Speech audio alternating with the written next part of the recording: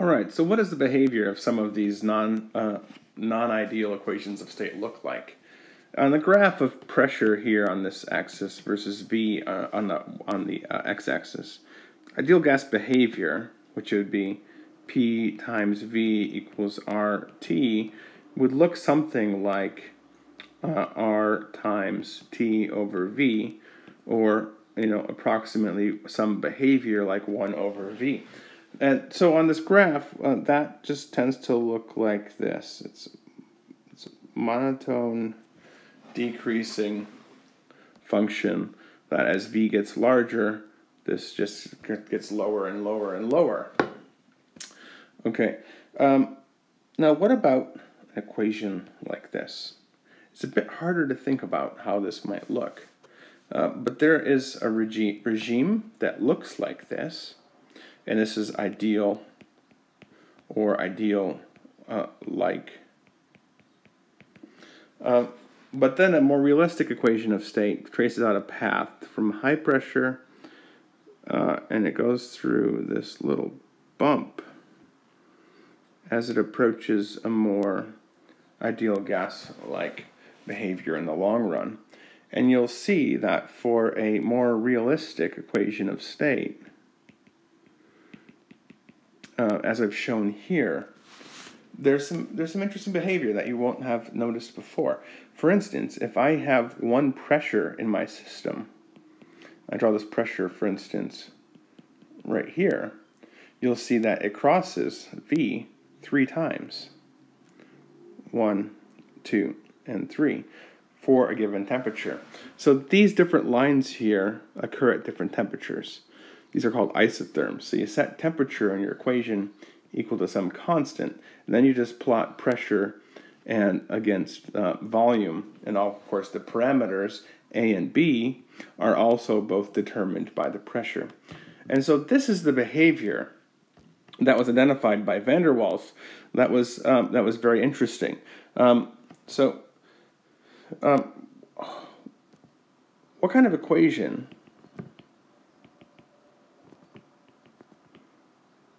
equation do you know of that has three local extrema?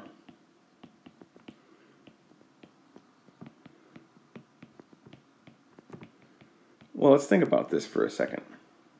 Let's go back to just some basic math. And if we have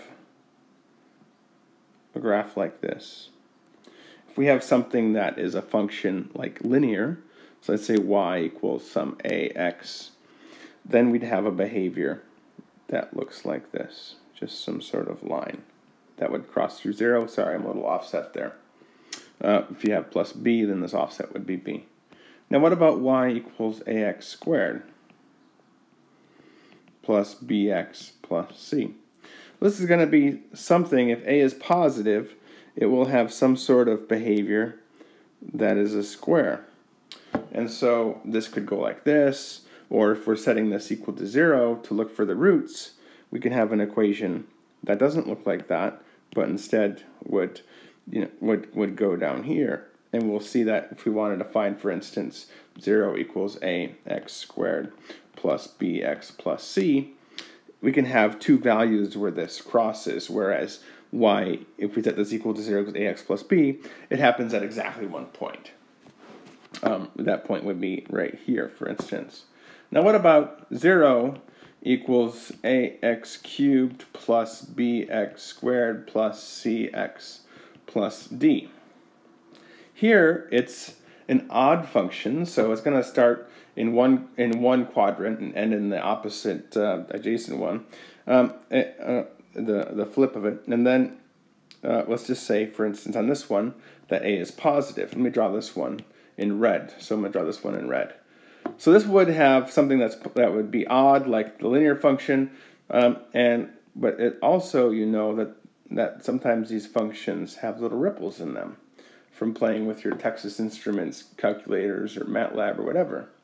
And so here we see that this equation right here crosses the axis at three locations.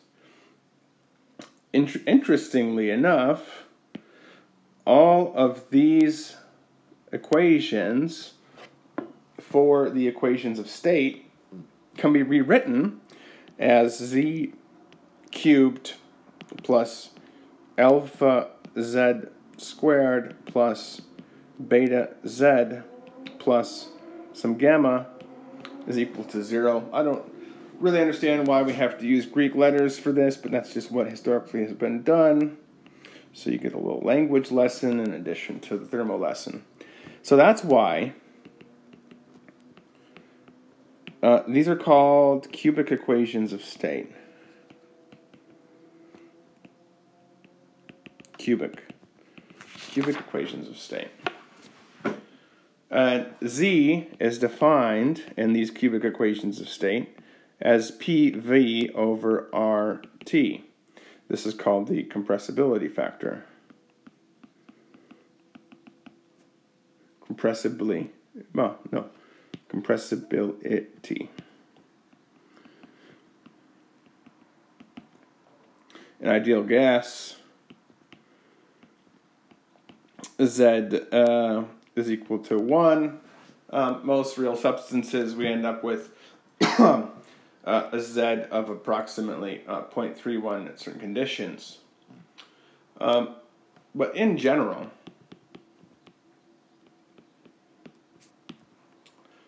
there's no limit. EOS can go beyond cubic.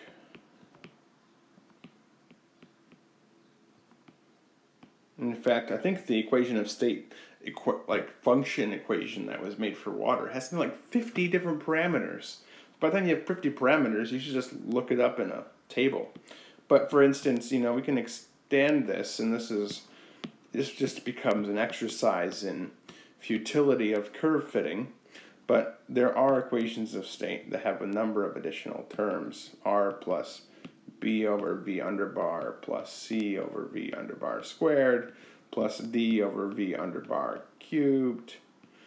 Oh, that's a horrible 3. Let me fix that 3. Uh, cubed dot dot dot dot for, you know, ad nauseum. So, but let's just go back to the z cubed equation. z cubed plus alpha z squared plus beta z plus gamma. So we let's we'll just say we have to do this to understand a better idea of how we can solve these equations of state. And what is it? What is this? Um, so all of the equations of state can be rearranged like this. We have better tools for solving polynomials, and so that's why we do this. We're using computers. We can solve these polynomials. So you'll notice with this type of shape, if I make a coordinate system here and then uh, copy and paste this a number of times. Copy, paste, paste. We can uh, start to look at the different behaviors. So this can have one solution. For instance, if you're starting down here, because you because we get rid of the coefficient in front of z, it's positive, so it will start down the left-hand corner, and it will rise and it can do a wiggle, but there is an option that the wiggle doesn't cross the, the, the, the zero plane again, and so we end up with only one solution. It's possible, but it's only a very small range where there are two solutions. For instance, this thing goes up, it crosses, comes back down, and the bump just touches. So then it hits there and it hits there. And so you can have two solutions. Then a cubic equation, of course, we talked about just a little bit ago, can have three solutions, one, two, and three, depending on, on the shape and where this, this crosses the axes. So, in general, quadratic equations uh, of the form uh, ax squared uh, plus bx plus c uh, can be solved, right? Equals 0. What is this? Well, x is going to be equal to minus b plus minus the square root of b squared minus 4. Oh, I changed my, my, uh, uh, making big b's, big b's. Okay, it's a coffee chain in Michigan, uh, 4AC all divided by 2 times A. So you know here you have two solutions, positive and negative of the root. Well, now what about the cubic equation? What is the equivalent for the cubic equation to the quadratic equation that you solved many, many, many times in all of your math classes? Why don't you just pause the video here and take five minutes to write down the solution for the cubic equation on your own.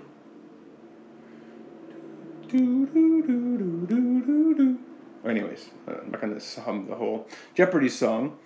Please stop. Please, I mean, if you really pause your video, I apologize. Hopefully you took a little break. Um, don't waste your time trying to do this. Because it's too difficult.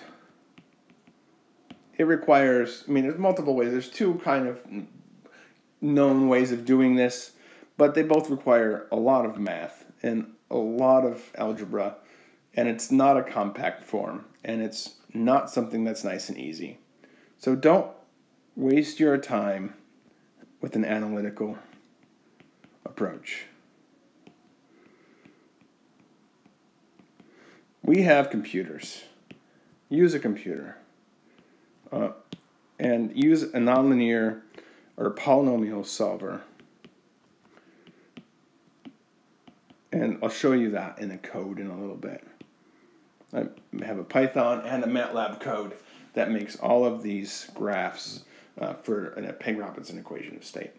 So, long story short, uh, these are called cubic equations of state. Cubic equations of state um, can all be converted into the following form, um, starting from the the the um, whatever um, type of uh, equation of state form. This is van der Waals, Peng Robinson, or any of the other more generalized ones can be converted in this cubic form, and it becomes important to solve the cubic form to identify the conditions where the, this, this cubic equation of state solves the, the problem and solves zero.